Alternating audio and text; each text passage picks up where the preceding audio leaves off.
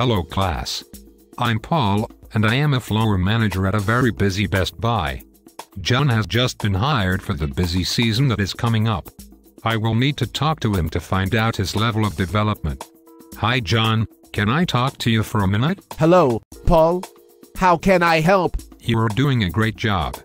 John, I have noticed that you're very eager to learn and contribute any way you can. I want to take this moment and identify how I can assist you in your growth. That's wonderful.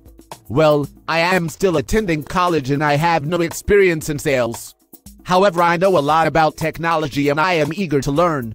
Thank you for taking the time to lead me in the right direction. John is at the lowest level of development, but he shows a high level of commitment.